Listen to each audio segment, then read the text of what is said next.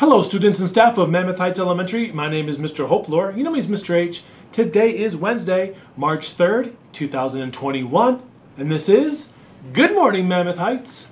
All right, let's begin our morning with the Pledge of Allegiance. Please rise and recite the pledge with me. I pledge allegiance to the flag of the United States of America and to the republic for which it stands, one nation, under God, indivisible, with liberty and justice for all. You may be seated. All right, boys and girls, well, let's start off our show with our lunch choices for today.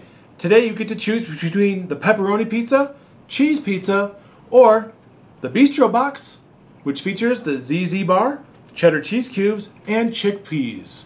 Your lunch choices for tomorrow will be the grilled chicken teriyaki with rice, or the bistro box, this time featuring the muffin, string cheese, and sunflower seeds. All right, well, let's talk about our birthdays for today.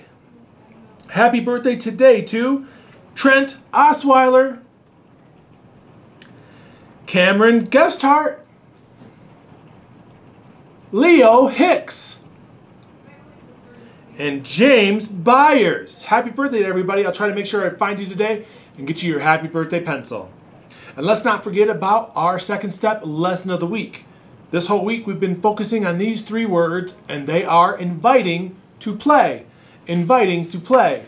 Here at Mammoth Heights Elementary, it's important to notice and have empathy when other kids are being left out.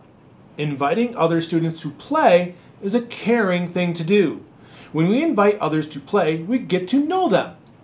At recess this week, notice if anyone's being left out and be sure to ask that person to join in and play. And that way you can continue to be a good friend today, throughout the school year, and of course throughout the rest of your life. All right, well, let's talk about our announcements for today. Our announcements today are intermediate band practice after school today. Kindness Matters Week continues on. Today is kindness letters. Write a letter to an assisted living center or a family member.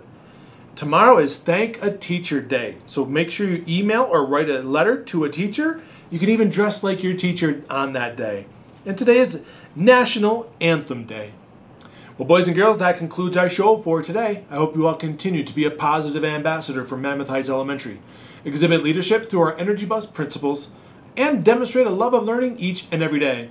And remember to dream, strive, become, because that's the Mammoth way. How you guys feeling on this Wednesday? Because I feel great. Yes. Have a great day. We'll see you around. Bye.